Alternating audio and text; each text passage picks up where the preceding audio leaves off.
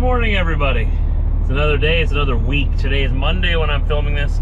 I've got to go grab a trailer and put another empty sea can on it, chain it down, and take it up to Thompson, Manitoba, which is about eight hours north into the province from where I am. I live on the south end of the province. I'm a southerner. I live like the weather stripping of America. I live just, just right over the border from Minnesota. But I got to go further north into, into the province. It's going to be a lot of fun. Glad you're here. Let's go get our can. Let's get moving.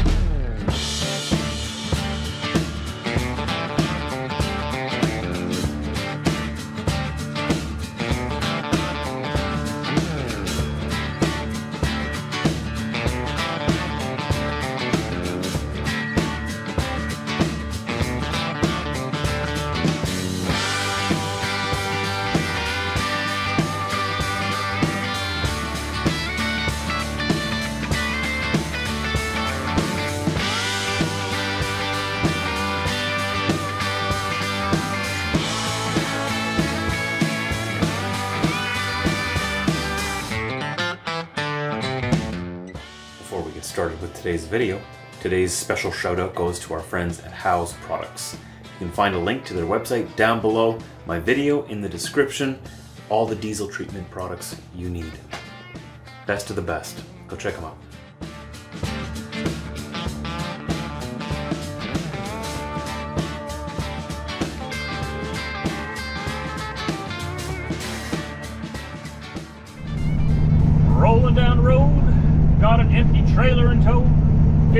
Foot step deck. Same kind of setup that we got had the last time we went up north. I was hoping to get one of the other trailers that we have. We have different brands. We have like Fontaines, I believe, and then this one is uh oh what is this? A Mack trailer? Either way, the point is that this trailer has a bit of a longer wheelbase and it's a little bit tougher to get into that tight spot up in Thompson, right? But we had no other shorter wheelbase trailers available, so we're gonna have fun. Well, we'll make it work. We made it work last time, we'll make it work again. So this is McGillivray Boulevard. I'm facing east right now, coming from the west perimeter into the city. We're gonna grab our empty sea can, chain it down, tie it down, make sure it doesn't go anywhere, make sure it comes with us. We'll start making our way eight hours north. This is my road right here. To the right.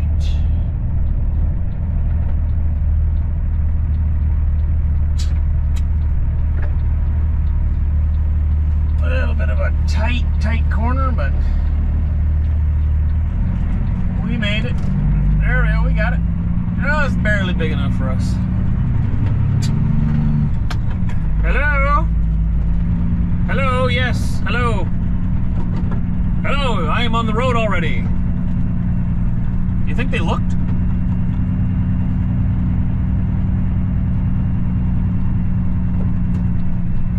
Okay, I'm gonna load the container in here and uh, hopefully it won't take too long.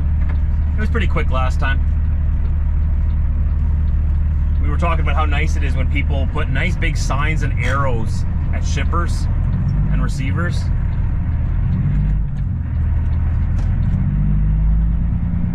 so that you know where to go.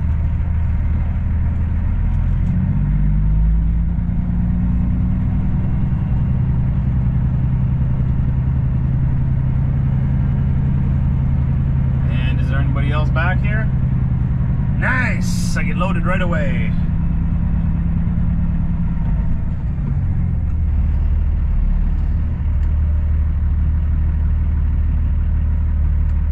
Just wait for this guy to do whatever he needs to do with that crate. I've got to park right where he's driving.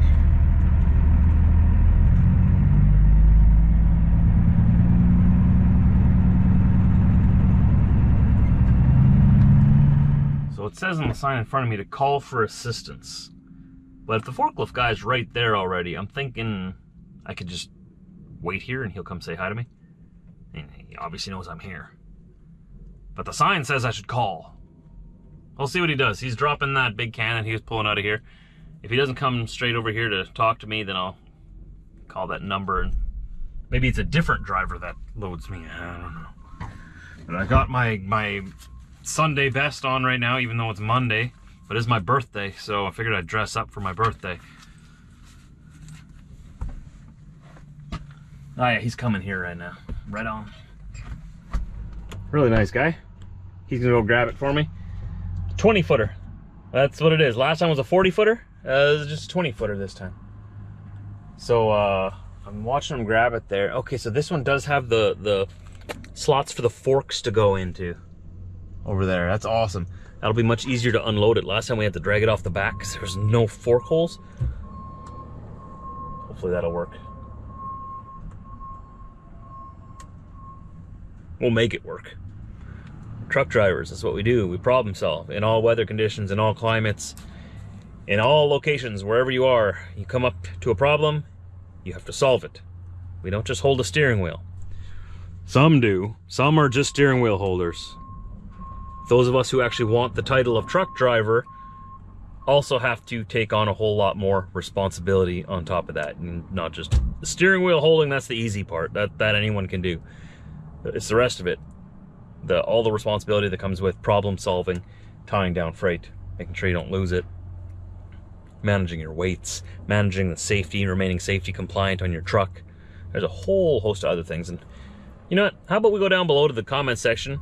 Describe to me in the comment section what it means to be a truck driver to you.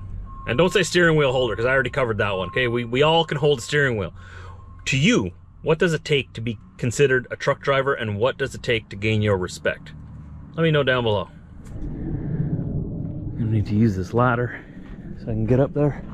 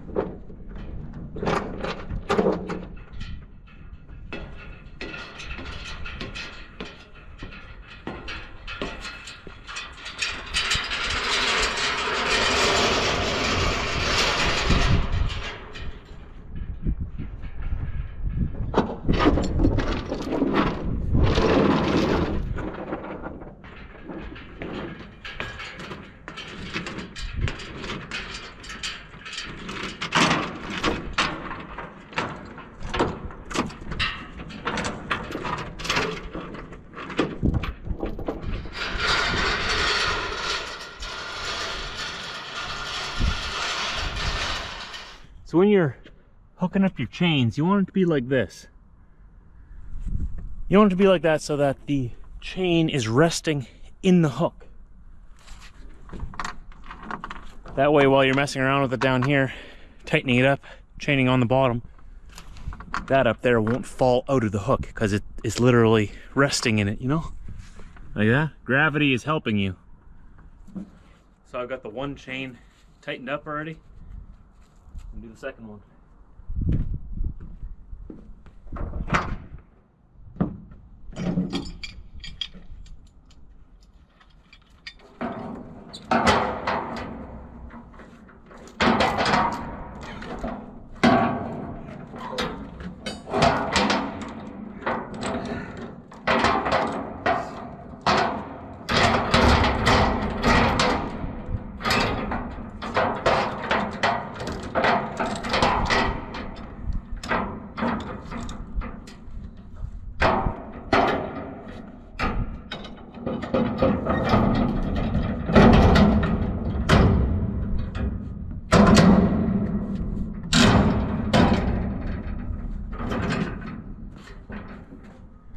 We've got these snugged up real tight.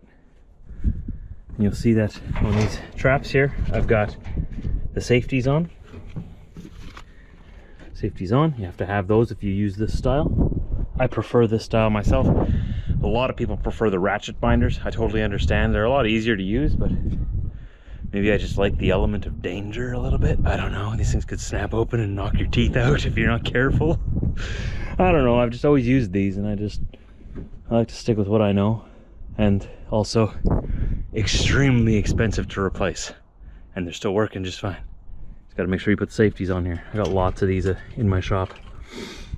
Okay, so what I'll do now is I'll wrap this extra chain around that so that uh, so that that's not flailing around. Just make it look a little neater going down the road.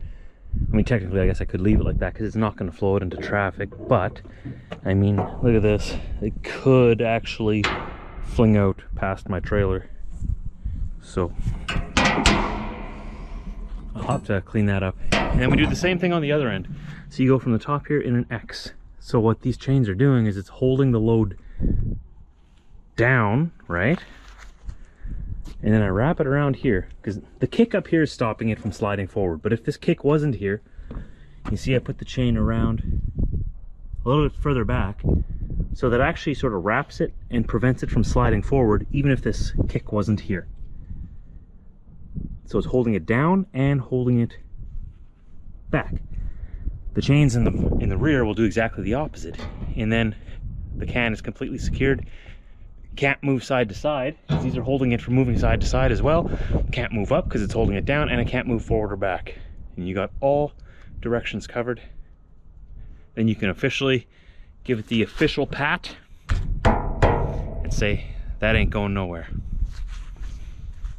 You reserve that phrase though for when you're sure. uh, okay, I'll go do the back and then we'll be on the road. All right, we're done. I threw two straps over it too. Just in case, you know. Honestly, I don't need them. I don't need the straps on the chains are plenty enough. But just in case, you know me. Just in case. Gives me an extra sense of security. You always get so dirty when you deal with chains. Rusty. I, I closed my headache rack, right? I have to double check. I have to be triple sure before I leave. Yes, it's all closed and locked up. And my airlines are not touching my catwalk. Good, you can't have your airlines touching your catwalk. That's because when you're going down the road, they'll rub through. Then you'll have a hole. You don't want a hole. Not in this case, anyway. We're gonna go grab fuel at Flying J in Headingley. Maybe like 20 minutes down the road. That'll be uh, perfect timing. Because then we can check on our chains and straps then and make sure everything is still secure and tight. Gonna grab fuel, grab a coffee, a little something to eat, and we'll make our way north.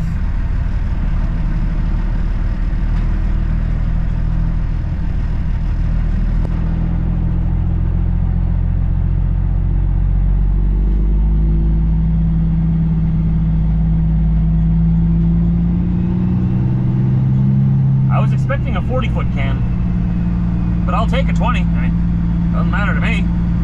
Same difference to me. A little easier, I guess, but same amount of chains. One less strap. but the straps are mostly just for show and for my peace of mind. The chains are doing all the work. Change of plans, surprise, surprise. We're not going to Flying J in Headingley. Their fuel's too expensive. I double checked, and fuel in Headingley Flying J right now for me, my price is $1.41.9 fuel at Petro-Pass, which is Petro Canada, Petro-Pass, Winnipeg West. So on Brookside Boulevard or Oak Point Highway up there. A little bit out of the way, but not too far. $1.27.9. So a whole lot cheaper. I'm gonna save myself between 40 and 50 bucks at least. Just going maybe a few miles out of my way. Worth it to me. Sorry, Flying J. Today you lose. It's always got to be a loser. There can only be one winner. Today, Petro-Pass takes the trophy, cheap as juice. Try again tomorrow. Just here on the left. This is right around the neighborhood, just down the road from where Andy the Kenworth guy works.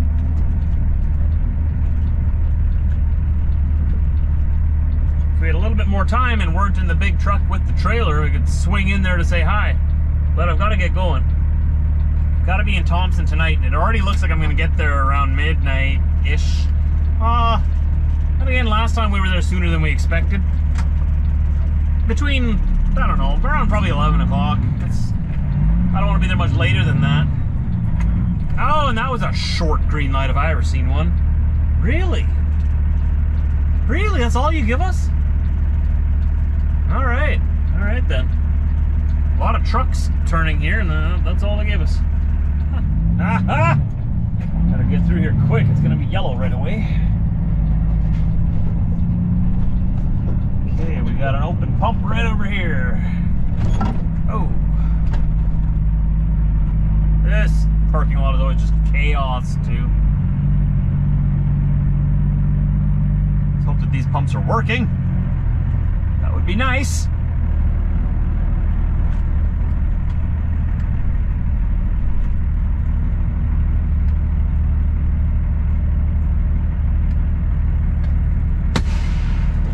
All right, fueled up for 489 liters. Let's find out real quick how much I saved.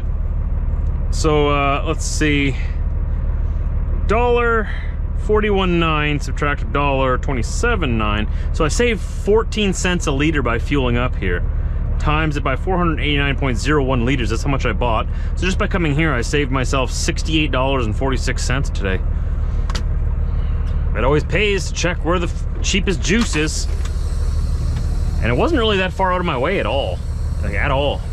It's just like a mile or two. Now, lights are on. We're officially loaded up, fueled up, and on the way to Thompson. Just gotta sneak out of these pumps here. I'm gonna give this guy a bit of space. He's got a day cab. He can back in there. He can back in there. Now, getting out of here is sometimes a little bit tricky sometimes because uh, it's a very small lot, but it's very busy. So people like to block this exit as they have right now. Oh, no, no, the guy's leaving. Okay, good. Oh, okay, good. I thought he had parked there. You're not supposed to park here at all. Like, even where this bobtail is, even though the bobtail's not really in the way, it's not a big deal, but sometimes these guys park their trucks right here, and this is the exit, right? And then you can't get out, and then everybody's stuck in the lot until they move. Even this guy could move up.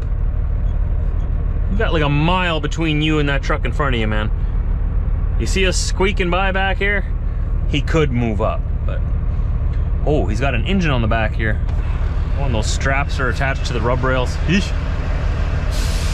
All right, all right. Oh, now he's moving up. There you go, there you go. Look at that. I didn't say anything. I didn't say it. I, all I'm saying is I would do it a little different. But that's okay. So now he's trying to get into the lot, or like, what's going on here? We have to wait for the traffic lights. That's what this guy's waiting for. It's just chaos every time. I hate coming to this place. This is why I specifically don't come here. It's just chaos all the time. But when you got cheap juice at 14 cents cheaper per liter, saving me almost 70 bucks, yeah, I'll come here. Fine, I'll deal with this mess. Right? Right? Money talks. It talks very loudly. All right, bud, come on, give her. Give her, give her, give her, give her, give her, give her, give her, give her. There we go. There, you got this. All right, all right. We're not getting paid by the hour, but okay, sweet. My turn.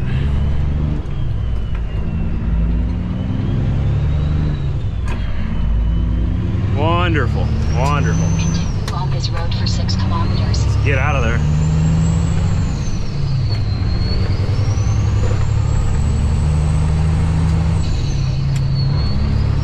I have a feeling I'm want to be in front of this guy. He seems a little unsure of himself, and that's okay. Maybe he's new. It's okay. But I'd rather be in front of a guy who's unsure of himself than behind him.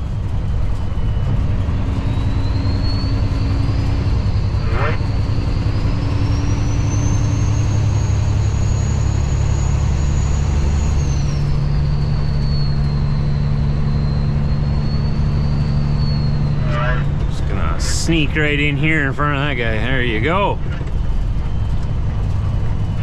We're gonna go right to the perimeter. Oh, hush, hush, hush. We're gonna go right to the perimeter, uh, turn west, and go to Highway 6. And Highway 6 is the road. That is the road that takes us up into northern Manitoba. Remember, there's only one. And once you get past Grand Rapids, you better make sure you're buckled in like double five almost need a five point harness just to make sure you don't go flying out the window so bumpy. Keep your windows closed, keep your seatbelt on. Those bumps will throw you right out. I'm exaggerating. It's it's just it's really rough.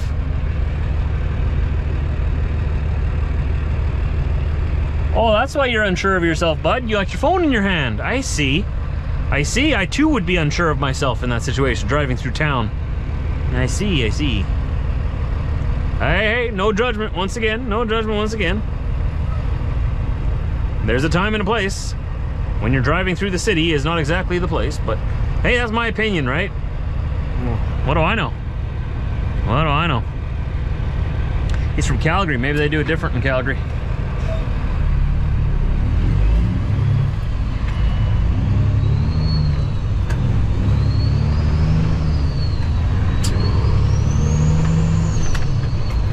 Beautiful day out. By next weekend, it's supposed to be plus 16. Of course, that would be plus 16 Celsius. What is plus 16 Celsius in Fahrenheit? According to QMath, answer 16 degrees Celsius is equal to 60.8 degrees Fahrenheit. Uh, that's the temperature next weekend, not right now. Right now, the temperature is 6 degrees Celsius. What is 6 degrees Celsius in Fahrenheit? 6 degrees Celsius is equal to 42.8 degrees Fahrenheit. That's a nice day. What's with all the garbage in the in the ditch here? Look at that. What did a garbage truck lose his entire load down here? That's terrible. That's disgusting. Why is there so much garbage in that ditch? In 2 kilometers, Wow. take the entrance to the right on Highway 101 West. Is crazy. All along here. Oh, that looks terrible. That's unacceptable. We need. I almost feel like writing a letter into the city. Like, what's up with this day? I've never seen it that bad. Someone's got to do something about that.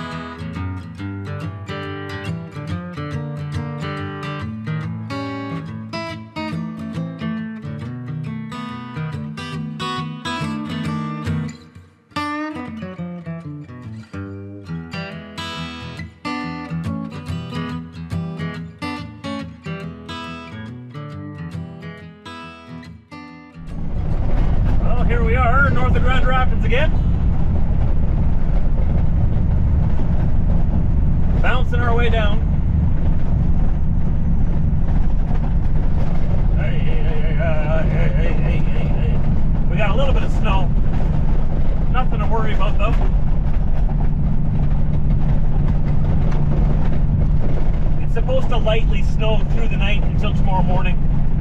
I don't think it'll accumulate much. Right now it's melting as soon as it hits the road. Temperatures are above freezing. Ah, I'm more concerned about this road. Ay, ay, ay, ay. I'm sorry, old blue. We gotta make money. And money's at the end of this road. It's a terrible road.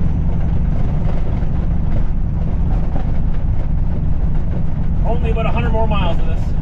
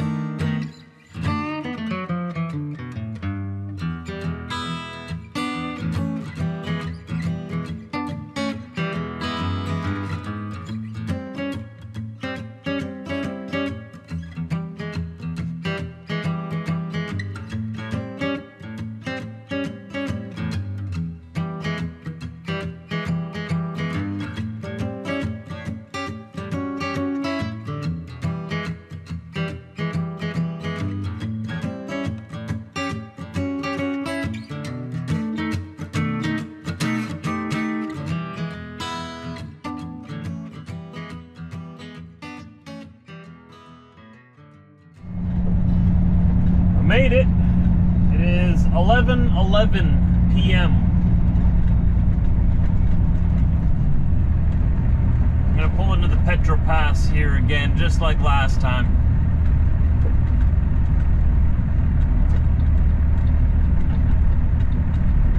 Hopefully find a spot to park, shut her down. I want to go straight to bed. I'm tired.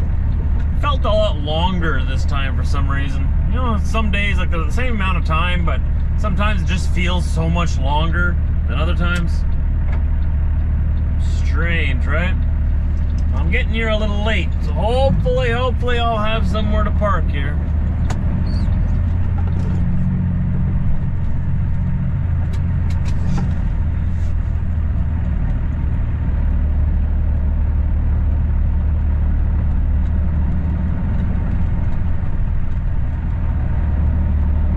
I go through the pumps backwards. Oh, there's a spot over there, I think.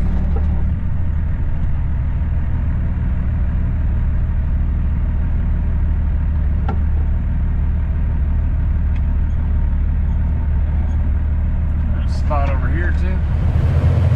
The exact same spot I was in last time. Off to the side, snowbank on that side. Nobody really on this side. Let's go check our load. And then we'll shut her down.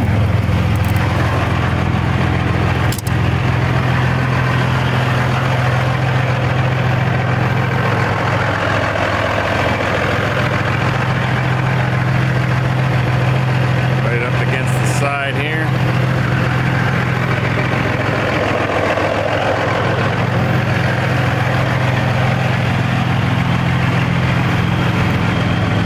Out of everybody's way. So the container is still back here. That's good news. It's good news. We didn't lose it. Seems so weird that it's so short though. Just a little 20 footer. My tail lights are still visible. That's good.